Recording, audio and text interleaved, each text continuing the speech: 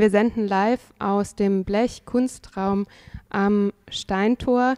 Hier findet aktuell eine Ausstellung statt, die den Titel trägt, weil wir jung sind und als Ausgangsort hat sie die Geschichte des VEB Waggonbau Ammendorf gewählt. Wir haben uns in den letzten Minuten schon eingehend beschäftigt mit diesem Betrieb, aber auch mit dem, was es an Kulturarbeit und ähm, Ideen für Kulturarbeit in der DDR gab und dem sogenannten Bitterfelder Weg. Und ein Name, der immer wieder verbunden wird äh, mit dem Waggonbau Ammendorf, ist der der Schriftstellerin Christa Wolf, denn die war 1959 bis 1962 hier in der Stadt Halle und hat den Bitterfelder Weg ernst genommen. Erstmal kann man sagen, ist äh, Mitglied einer Brigade geworden im Waggonbau und hat dort einen Zirkel schreibender Arbeiter geleitet. Sie hat aber auch äh, für den Mitteldeutschen Verlag gearbeitet, der sich hier auch am Steintorplatz befindet. Und vor allem hat sie selbst geschrieben, auch hier in Halle, ähm, ihre Erzählung Der geteilte Himmel, die dann von Konrad Wolf verfilmt wurde und sich unter anderem auseinandersetzt mit der Arbeit, ähm, auch der Arbeit in einem Waggonbau. Deswegen wird äh, dieser Name Christa Wolf immer wieder gekoppelt mit der Geschichte des Waggonbaus. Wir wollen uns darüber jetzt genauer unterhalten hier in diesem lichtdurchfluteten Waggonbauskelett, in dem sich unser mobiles Radiostudio befindet. Und äh, hier bei mir sitzt Lukas, der ähm, sowohl der geteilte Himmel von Christa Wolf gelesen hat, als auch den Film von Konrad Wolf gesehen hat. Sehr schön, dass du da bist. Hallo. Ja, schön hier zu sein. Jetzt äh, habe ich viel äh, referiert, das, was man äh, ja so den Entstehungskontext äh, dieser Erzählung ähm, nennen kann. Und das ist sicherlich interessant, aber heißt natürlich erstmal nicht viel, dass das hier in Halle entstanden ist, dass das immer wieder an die Stadt gekoppelt wird. Was würdest du denn sagen, sind äh, die zentralen Themen dieser Erzählung, der geteilte Himmel? Ich glaube, ich würde das auch nochmal so einordnen, eine Reihe von Büchern, die halt in dieser Zeit Anfang der 60er Jahre entstanden sind und dazu gehört neben dem geteilten Himmel von Christa Wolf ja Rummelplatz von Werner Bräunig, Franziska Linkerhand von Brigitte Reimann, auch Spur der Steine von Neutsch. Ähm, das sind alles Bücher, die in dieser Zeit entstehen und die eben zentral sich damit auseinandersetzen, was bedeutet Alltag in der Produktion und die davon ausgehend eine Kritik aufmachen und Widersprüche und zentrale Konflikte, die eben mit dem gesellschaftlichen Leben in der DDR zu tun haben. Diese Bücher haben, finde ich, sowas gemeinsam, dass sie irgendwie so eine melancholische Grundstimmung haben und trotzdem irgendwie von einer Art Aufbruch irgendwie bestimmt sind. Bei dem geteilten Himmel würde ich sagen, ist so ein ganz wichtiges Grundmotiv das Erwachsenwerden und erwachsen werden, ohne sich innerlich vollkommen zu verhärten, ohne ein Spießer zu werden, ohne sich anzupassen und irgendwie an einer Ethik festzuhalten, die das eigene Umfeld und die eigene Umwelt mit einbezieht. Und die Frage, wie kann man das eigentlich schaffen? Hauptfigur ist äh, Rita Seidel, eine 19-jährige Studentin, die ja eine Familie hat, die so einen vertriebenen Hintergrund hat und die dann eben in diesen mitteldeutschen Raum kommt, dort auf einem Dorf aufwächst, das erstmal ziemlich behütet ist und übersichtlich und die dann sich entscheidet, nach Halle zu gehen, um dort Lehrerin zu werden und jemanden kennenlernt, der Manfred Herford heißt, der zehn Jahre älter ist, mit dem sie eine Beziehung führt und der ja so zur technischen Intelligenz gehört, sozusagen so ein Chemiestudent ist, der dann auch seinen Abschluss macht in dieser Zeit. Und so bewegen die sich halt ähm, durch Halle und verständigen sich über verschiedene Konflikte, mit denen sie jeweils im Alltag zu tun haben. Und darüber gibt es eine Entzweiung zwischen den beiden. Ich würde sagen, das ist so das Grundmotiv des Buches. Ja, Entzweiung ist das Stichwort, das ich aufgreifen würde. Das ist ja auch der Titel dieser Erzählung, der geteilte Himmel. Also es ist etwas entzweit, es ist etwas geteilt.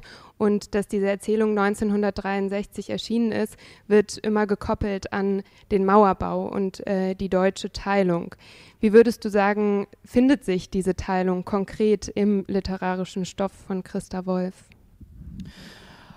Also ich würde sagen, sie findet sich in so weltanschaulichen Fragen wieder und wie man mit der Erfahrung des Rückschlages letztendlich umgeht. Also ähm, der Manfred, ähm, der eben sozusagen der Freund von der Rita wird, der hat schon so bestimmte Enttäuschungen halt hinter sich und entwickelt daraus so eine bestimmte Weltsicht, die halt irgendwie sagt, es bringt eigentlich nichts, sich zu bemühen, weil die Geschichte ist ein zufälliger Prozess, auf den ich keinen Einfluss habe und Mittel und Zweck in Einklang zu bringen und ähm, sich zu bemühen, ähm, zu verbessern, auch sozusagen, ja, sozusagen mit den ganzen Arschlöchern, denen man begegnet und den Funktionären, die einem was erzählen wollen und gegenüber denen man keine Chance hat. Der Manfred würde halt sagen, ab einem bestimmten Punkt lohnt sich diese Auseinandersetzung für mich und darin bin ich resigniert.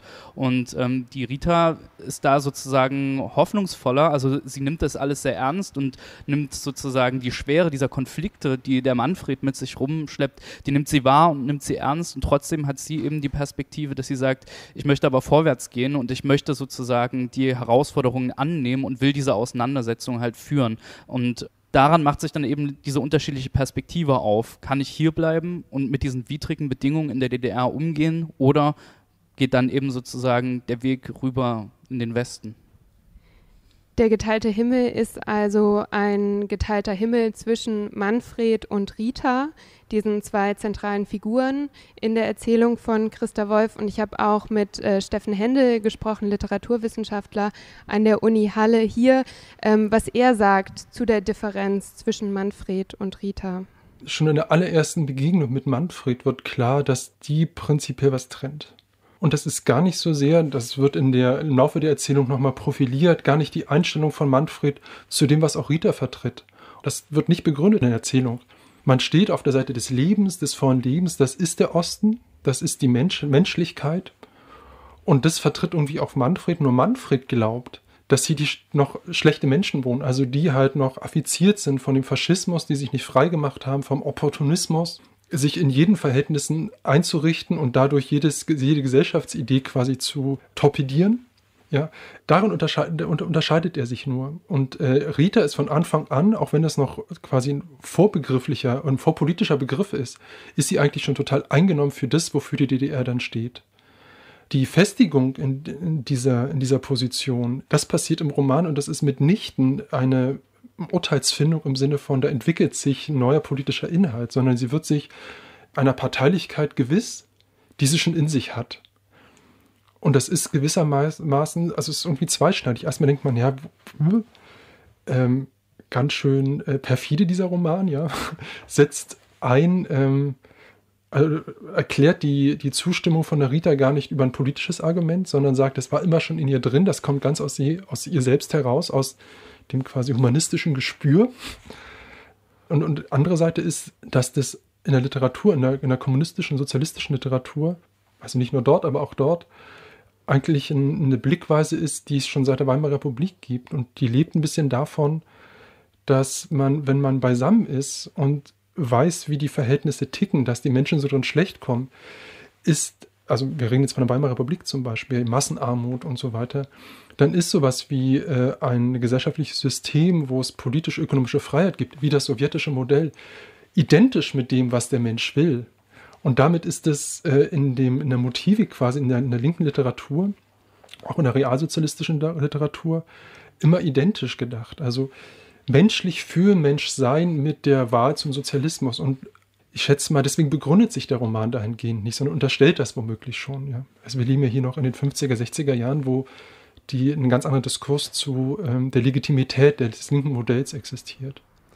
Soweit Steffen Hände über der geteilte Himmel. Und ich fand das einen ganz spannenden Punkt zu sagen, das, was du auch schon beschrieben hast als ein Aufwachsen und ein Reinwachsen, ist etwas Naturalisiertes. Also die Entscheidung ist schon da. Würdest du das so teilen? Ich glaube, ich würde das so ein bisschen relativieren, Deswegen, weil es bei Rita nicht die ungebrochene Zustimmung zu dem gibt, was da ist, was da ist an gesellschaftlichen Konflikten und Widersprüchen. Und ich würde sagen, insgesamt ist dieser Roman ja auch keine Verurteilung des Typ Manfred, der sozusagen an sein eigenes Fortkommen denkt und deswegen rübergeht, sondern umgedreht. Dieser Roman zeigt diesen Charakter, um für ein Verständnis zu werben. Und sozusagen das, was, glaube ich, der Roman will, ist, dass die DDR begreift, was gibt es für Gründe für Leute, zum Beispiel rüberzugehen. Und das wird ja alles ausbuchstabiert, die Gründe dafür, enttäuscht zu sein und so weiter. Und ähm, es ist sozusagen, es kritisiert eine bestimmte Tendenz in der DDR, nämlich sozusagen das Nachplappern, so dieses starre Funktionärswesen, der Dogmatismus, ähm, das blinde Entscheiden von oben und dem stromlinienförmig folgen. Das ist das, woran Manfred verzweifelt. Und nur weil sich Rita sozusagen entscheidet, ähm, im Osten zu bleiben, heißt es nicht, dass sie dieser Tendenz zustimmt, sondern der Unterschied ist, dass sie sich sozusagen ähm, dem stellen will und das verändern möchte innerhalb der DDR. Und sie sucht sich da ja verschiedene Bündnispartner auch. Also ähm, es gibt den, der das Lehrerseminar leitet, der Schwarzenbach, der sie auch eben nach Halle geholt hat und sie überzeugt, dass sie auch Lehrerin werden kann und Lehrerin werden will. Ähm, das ist jemand, der sozusagen auch gegen so ein Obrigkeitsdenken steht. Oder halt eben die Arbeiter in der Brigade Ermisch, die sozusagen die Rita in diesem Waggonbau auch äh, kennenlernt. Ähm, auch da sozusagen ist das eine Spannungs- geladene Konstellation, aber auch da gibt es sozusagen eine Auseinandersetzung, die nicht einfach aufgeht in dem, was sozusagen die DDR als monolithischer Block wäre, sondern es werden ja gerade Konflikte gezeigt. Dass wir über die Erzählung Der geteilte Himmel von Christa Wolf sprechen, ist auch dadurch bedingt, dass wir eben sprechen über den Waggonbau Ammendorf hier in diesem Mittagsmagazin. Dort war die Autorin, ähm, hat dort ja eine Brigade begleitet, war selbst Mitglied dieser Brigade. Das hat Eingang auch in ihre Tagebücher gefunden und an einer Stelle im Jahr 1961 schreibt sie dort, ins Gespräch kommt überraschenderweise die Frage, was uns eigentlich ganz konkret in der DDR hielt und hält, da so viele weggingen. Diese Frage ist ja nun auch zu einem Unterton in meiner Erzählung geworden. Im Negativen sofort zu beantworten. Man weiß, was drüben gespielt wird und dass man da nicht hingehört. Im Positiven, dass hier bei uns die Bedingungen zum Menschwerden wachsen. Theoretisch ganz klar. Praktisch wachsen sie wirklich streuen wir uns nicht oft über die konkreten inneren Verhältnisse unserer Menschen Sand in die Augen, zum Beispiel ihre Beziehung zur Vergangenheit. Eines Abends, als die Ammendorfer Brigade bei uns war, wurde es erst lebhaft beim Austausch von Kriegserinnerungen und so bei vielen Leuten, es fällt ihnen unendlich schwer, sich selbst gegenüber kritisch zu sein. Das als ein Tagebuchauszug von Christa Wolf und ein Element in diesem kurzen Abschnitt ist der der Auseinandersetzung mit dem Faschismus. Ähm, auch eine Frage, die in der geteilte Himmel immer wieder eine Rolle spielt. Und sie formuliert es hier als die Fähigkeit zur Selbstkritik, äh, sich selbst gegenüber kritisch zu sein. Äh, welche Positionen ähm, der Auseinandersetzung mit dem Nationalsozialismus gibt es denn in der geteilte Himmel?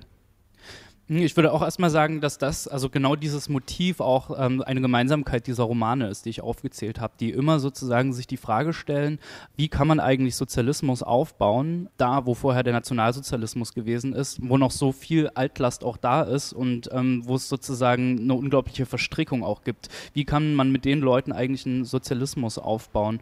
Und ich finde, es gibt in diesem Roman Der geteilte Himmel eine Stelle, wo diese Auseinandersetzung mit dem Nationalsozialismus ähm, ganz zentral zentral mit vorkommt, aber fast beiläufig und aber trotzdem finde ich umso wirkungsvoller und umso spannender verarbeitet. Und das ist eine Szene, wo Manfred eingeladen wird von seinem Chemieprofessor zu so einem Abenddinner, sozusagen mit den anderen Doktoranden und da ist auch ein Parteifunktionär dabei und ein Freund von dem Manfred. Und das ist so eine unglaublich äh, spießige Tischrunde und alles ist so ein bisschen komisch und dieser Parteifunktionär ist auch so in einer schwächeren Position da in dieser Runde und die machen sich so ein bisschen bisschen über den her. Und dann kommt es zu einer Szene, wo der Professor sozusagen so selbstgemachte Cocktailrezepte ausschenkt.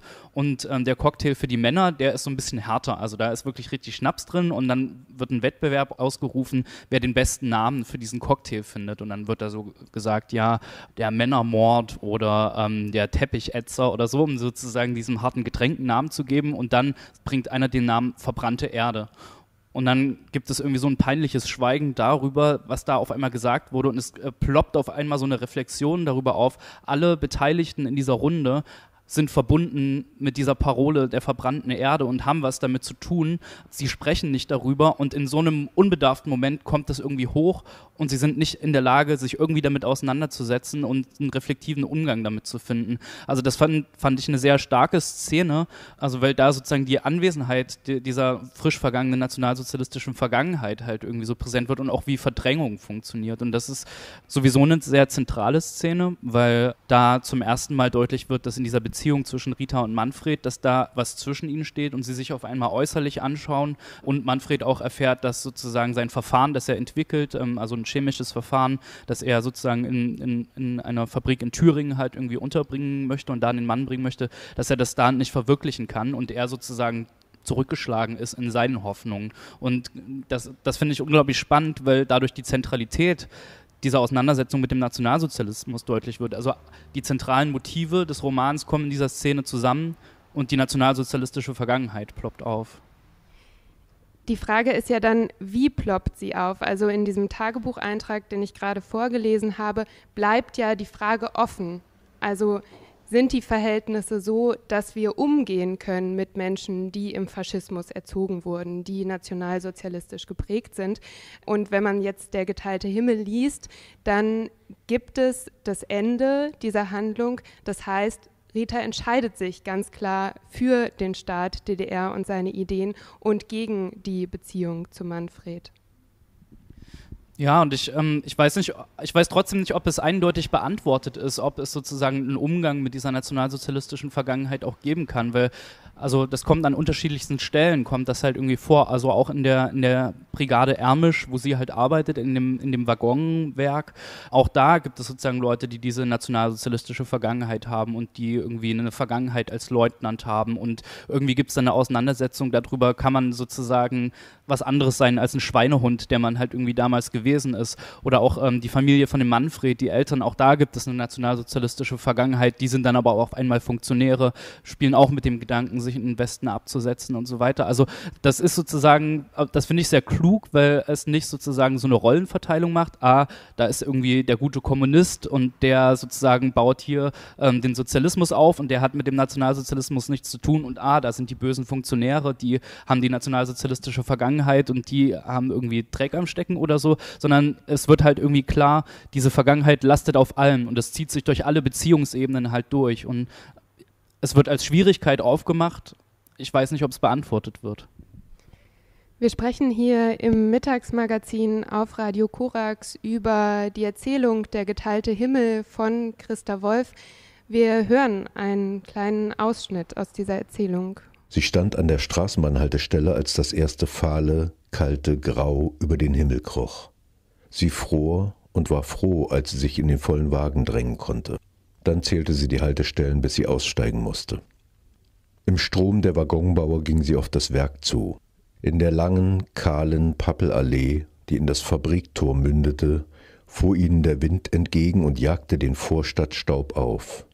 Die Arbeiter hielten sich die Aktentaschen schräg vors Gesicht. Sie grüßten einander durch Handbewegungen und Zurufe. Sie gingen zu zweit und zu dritt und redeten miteinander. Nur Rita ging allein zwischen allen Gruppen. Sie klappte den Mantelkragen hoch und hielt ihn mit der Hand fest, dass er ihr Gesicht halb verdeckte. Sie wollte keine erstaunten oder neugierigen Blicke sehen. Am Werktor sah sie sich noch einmal um. Gerade traf etwas Sonne die Pappelspitzen und ein paar erste silbrige Blätter kamen ins Glitzern, Sonne und Wind werden auch heute ihre Arbeit an ihnen tun.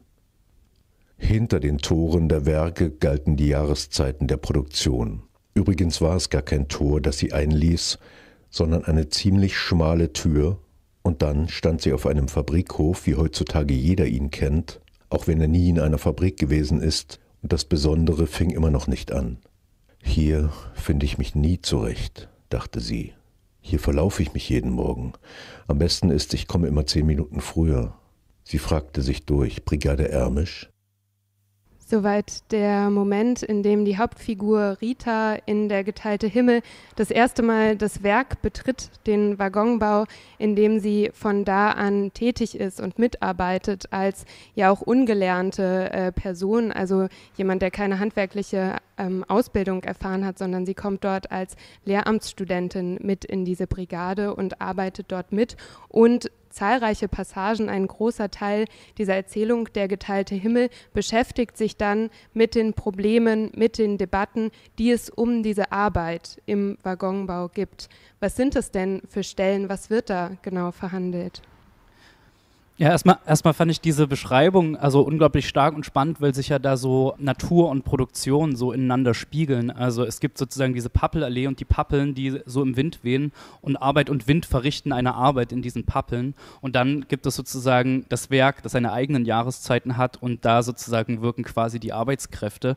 Und Bevor wir vielleicht auch auf, die, auf diese konkreten Konflikte in der Brigade Ermisch zu sprechen kommen, finde ich das unglaublich spannend und bemerkenswert, wie in der Literatur da bei Christa Wolf halt auf den Arbeitsalltag eingegangen wird, weil das ist was, was ich von ähm, der meisten Gegenwartsliteratur und von ganz vielen Filmen halt her nicht kenne, wo die Haupthandlung meistens dem Alltag entrückt ist und das Alltagsleben selber gar nicht der Stoff ist. Und das passiert halt eben da, wo sozusagen eine junge Frau, die sich sozusagen im Leben orientiert, der ist ja auch die Großstadt Halle erstmal undurchdringbar und die ganzen Beziehungen, die da sind und genauso auch dieses Werk, was ja auch in dieser Eingangsszene beschrieben wird, dass sie sich da erstmal gar nicht zurechtfindet, nichts weiß und sozusagen sich sogar mühsam den Weg zu ihrem Arbeitsplatz durchfragen muss. Und dann sozusagen langsam Stück für Stück wird es halt irgendwie sichtbar, was passiert sozusagen in diesem Arbeitsprozess. Und so wie sozusagen so eine junge Arbeiterin ungelernt dann sozusagen die Arbeitsschritte kennenlernt, so lernt sie gleichzeitig kennen, was für Lebenswege stecken dahinter und was wirkt alles in diesem Arbeitsvorgang noch mit, was die Leute halt alles so mit sich rumschleppen. Ähm, es gibt eine Auseinandersetzung in dieser Brigade Ermisch und ähm, die besteht darin, also sie wird äh, zugewiesen äh, einem Rolf Mitternagel, was ein älterer Arbeiter ist und äh, es kommt heraus, der hat so sozusagen eine rückläufige Kaderentwicklung. Das heißt, er war früher mal Meister in der Brigade, hat sich sozusagen verantwortlich gezeigt für diese äh, Brigade und es gab innerhalb der Brigade eine Fehlkalkulation, so dass die Brigade missgewirtschaftet hat. Er ist dafür verantwortlich gemacht worden und ist deswegen sozusagen zurückgestuft worden und arbeitet jetzt mit sozusagen einem gewissen Ingrim in dieser Brigade und hat irgendwie sozusagen so, so eine offene Rechnung da halt irgendwie noch da. Also er arbeitet mit denen zusammen, die ihm beschissen haben, für die er Verantwortung übernommen hat. Und jetzt äh, sozusagen werden in diesem Werk, in diesem Waggonwerk, wird halt deutlich, okay, es gibt Zulieferschwierigkeiten, es gibt sozusagen widersprüchliche Ansagen von verschiedenen Planungsstellen und ähm, auch der Werksleiter setzt sich ab, auch in den Westen und ähm, auch der entzieht sich der Verantwortung über eine bestimmte Fehlkalkulation innerhalb des Werkes. Und jetzt kommt es halt irgendwie darauf an, dieses Werk mit einem neuen Leiter halt wieder auf Vordermann zu bringen. Und da ist dann halt eben die Frage, wie viel leistet die einzelne Brigade und wie viel leistet jeder Einzelne. Und ist man zum Beispiel auch dazu bereit, mehr zu arbeiten, wenn man mehr arbeiten kann, also sozusagen die Norm zu erhöhen? Oder denkt man nur sozusagen an das eigene Fortkommen? Denkt man nur an den eigenen Lohn? Oder ist man auch dazu bereit, zum Beispiel ähm, intensiver zu arbeiten, in der gleichen Zeit mehr herzustellen, ohne dass sich das unbedingt im Lohn niederschlägt? Das sind sozusagen die Auseinandersetzungen, die innerhalb dieser Brigade geführt werden. Wir hören auch nochmal Steffen Händel, der sich eingehend auch mit Christa Wolf und gerade mit ihren Tagebüchern, die sie in Halle Ammendorf geführt hat, auseinandergesetzt hat, eben zu dieser Frage, inwiefern auch Eingang gefunden hat, die reale Beschäftigung der Autorin Christa Wolf mit den Verhältnissen im VEB-Waggonbau Ammendorf. Als Autorin im Waggonbau, also dass sie irgendwie wenn man diese Tagebücher liest, total ähm, auf eine Art froh darüber, diesen Einblick zu haben. Aber was sie dann erblickt, stimmt sie gar nicht so froh, nämlich dass es gar keinen Konsens gibt in dem, wofür die Arbeiter arbeiten gehen, was sie verfolgen mit der Arbeit. Ist es ein Privatinteresse, einfach nur das Geld verdienen und da das private Glück zu suchen oder ist es ein Engagement für einen größeren gesellschaftlichen Zweck? Ist das ein Ausnutzen der Prämien? Ja, ist es ein Ausspielen der Kollegen? Etc. etc. Und ähm, sie ist sich ganz im Unklaren darüber, wie man diesen bunten Haufen an Interessen und Gegensätzen unter diesen Arbeitern überhaupt auf einen Nenner bringt, und zwar auf den richtigen Nenner. Der Roman ist auf eine Art eine Antwort darauf. Ja, also das ist überhaupt der ganze Anlass, auch diese ganzen Bitterfelder Weges und so weiter, die Arbeiter irgendwie abzuholen. Ja, die haben ja Kommunismus nicht selber erkämpft, sondern es ist ja auf ihn rübergefallen infolge des Sieges der Sowjetunion über, äh, über dieses Deutschland der Arbeiter. Und das System ist ihnen erstmal vorgesetzt worden. Und das heißt ja noch nicht, dass die Leute sich gleich danach in ihr gerichtet haben. Sie hatten halt ihre Vorbehalte.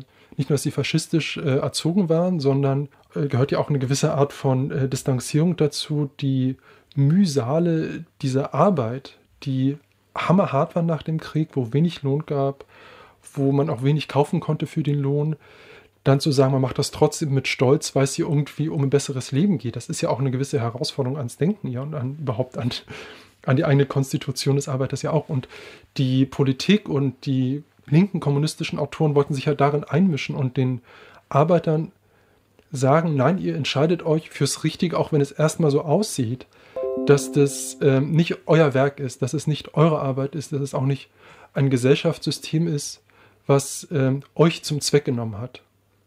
Ja, und ähm, man merkt, wie wichtig gerade diese Arbeitsfrage in dieser prinzipiellen Systemfrage ist und warum da drin sich unheimlich viele ähm, Autoren eingemischt haben. Soweit Steffen Händel, ähm, vor allem ja zu dem, was Christa Wolf in ihrem Tagebuch notiert zur Frage der Arbeit. Ähm, welche Parteinahme, vielleicht äh, kann man ja schon auch sagen, gibt es denn dann ähm, in der Erzählung Der geteilte Himmel? Also ich würde sagen, es ist eine Parteinahme für die freiwillige Normerhöhung unter Verzicht auf den eigenen Lohnanspruch eigentlich. Und das finde ich tatsächlich ein fragwürdiges Motiv. Und das ist glaube ich, auch interessant, das historisch einzuordnen, weil ähm, dieses Buch, also es spielt Anfang der 60er Jahre und das ist ja eine Zeit, wo die Ökonomie der DDR schon verschiedene Aufs und Abs halt hinter sich hatte.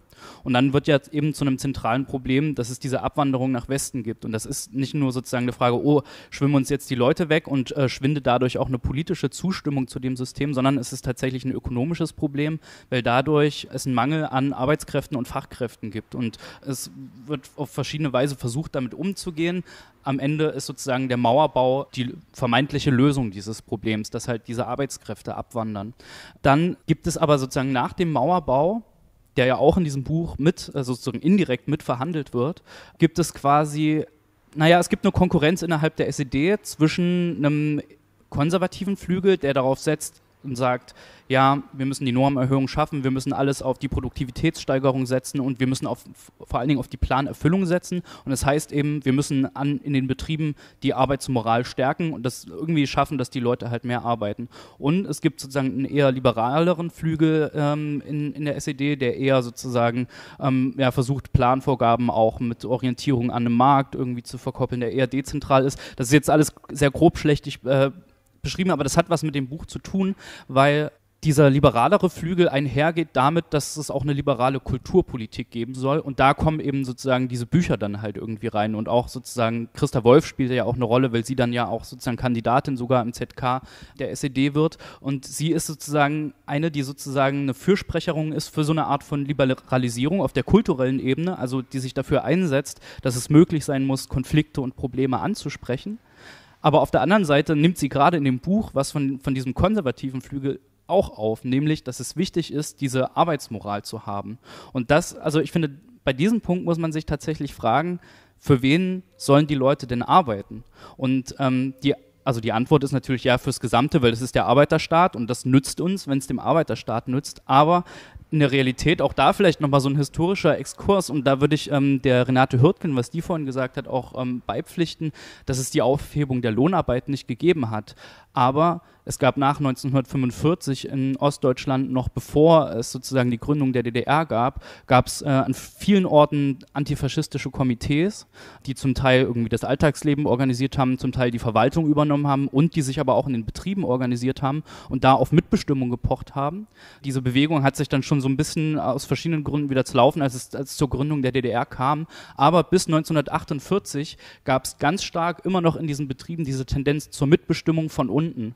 Und die ähm, Betriebsleitungen und Werksleiter konnten bis 48 ähm, tatsächlich nichts machen ohne die Betriebsräte und ohne sozusagen die Gewerkschaft und irgendwie sozusagen ja, das mit einzubeziehen, was an der Basis los ist. Und das wird 48 dann erledigt, damit, dass sozusagen dieser erste Zwei-Jahresplan halt irgendwie in Gang gesetzt wird. Und dann ist tatsächlich sozusagen diese Selbstverwaltungstendenz in den Betrieben in der DDR vorbei. Und unter diesem Vorzeichen dann halt irgendwie zu sagen, wir müssen mehr arbeiten. Also das ist was, wo ich sagen würde, verkleidet unter diesem Zirkel der Arbeiterwesen ist das eigentlich gegen das Interesse der Arbeiter in der DDR gerichtet.